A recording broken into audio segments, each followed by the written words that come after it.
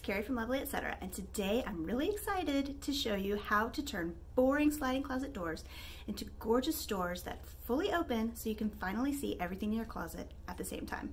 These are the closet doors that I am working with. And if you have ever had sliding closet doors like these, you know why I hate them so much. You can never see all your stuff at the same time. You can see this half of your closet, or you can see this half of your closet. Never the two together.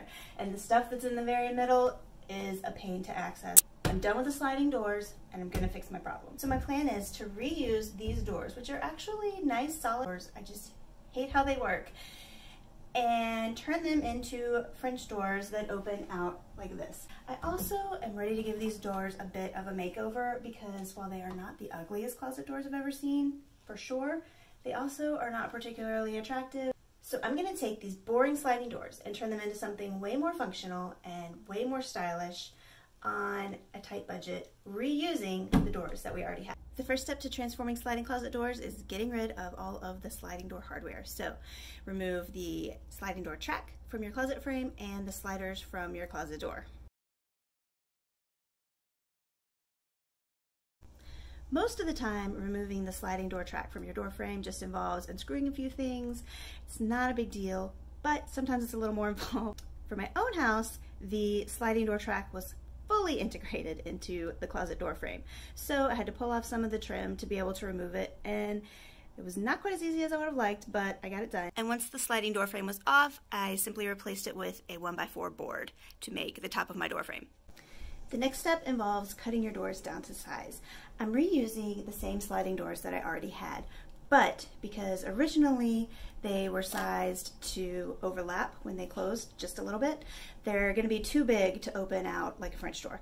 So you need to cut just a little bit off of the edge of each door using a circular saw. I have a little bit more information about figuring out how much to cut off at my website, lovelyetc.com, and I will link that down in the video description. I want this project to be as easy as possible, so I am using non-mortise hinges to hang my closet doors to save myself a whole bunch of work.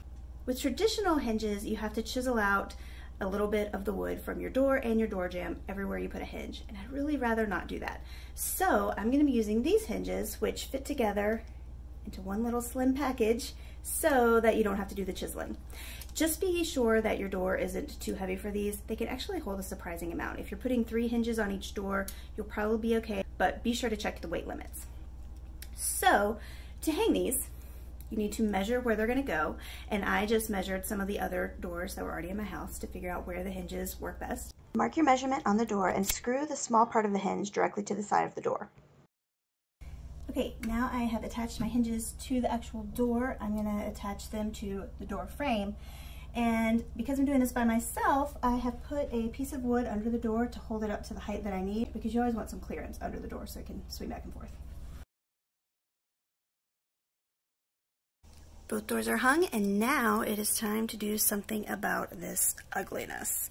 So of course you can always just paint your doors to make them look a little nicer, but I want to do something a little different. So I'm going to do a herringbone wood plank design on my doors. I wanted to keep my wood really lightweight so that it wouldn't add a lot of extra weight to the door, so I am using thin quarter inch thick wood. There are a couple of different ways you can go about this. You can buy thin wood that is already cut into planks. And that's what I'm using here. I'm using these thin long lattice pieces. Um, I'm actually reusing some wood from a previous project. Or if you want to save more money, you can buy a big 4x8 sheet of underlayment, which is a really thin, not super high grade plywood, and cut it into strips yourself. Buying strips already cut is way easier. Cutting it yourself is way cheaper. So it just depends on what you want to do. I'm going to get started putting the frame on the second door and then I'll start laying the herringbone pattern. I'm using both wood glue and a nail gun to attach my wood to the door because it's a door and it's going to be opening and closing. I want to make sure it's really secure. Okay, both doors have been framed all around and now I am ready to fill in with the herringbone. The first step is to draw a straight line down the center of your door to use as a guide. Use a miter saw to cut 45 degree angle cuts at one end of each of your wood planks. Then you can hold each wood plank in place with the angled end against the line you drew down the middle of the door and measure where the second end needs to be cut for a perfect fit.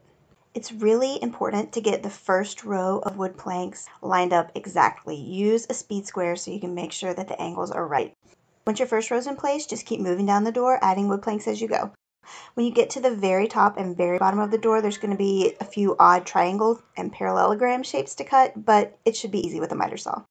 If you don't have a nail gun, you can definitely still do this project using a hammer and nails, but it is going to take a lot more time. And here are my closet doors, all planked and ready for paint. I painted my doors in the color Watery by Sherwin-Williams. Just use a good angle brush to cut in around the edges and then fill in with a foam roller for smooth surfaces. Once the paint was dry, I used a utility knife to remove any excess paint that was between the planks just to keep the pattern looking nice and crisp. I installed a small piece of wood along the top of the door frame to act as a stop bar to keep the doors from closing inward when they're closed. And I also installed these two magnetic catches. A lot of times people use something called a ball catch for doors like this to keep the door closed and in place, but I read a tip online that a magnetic catch is actually much easier to install and also works better. So that's what I went with. Each of these magnetic catches was only about $1 and they work great. There is a little piece of metal on the back of the door and when you close it, the magnet holds it in place so that the door doesn't drift back open on its own. And then here you can also see how the little piece of wood at the top of the closet keeps the doors in place as well. And here are my finished closet doors now. They look amazing. No more blah, flat, boring closet doors for me. And more importantly, they work so much better now.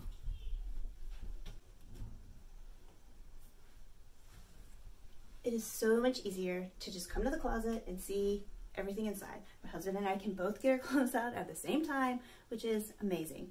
Now, of course, the inside of the closet, still a mess. This is my next project. This is the next video I'll be making.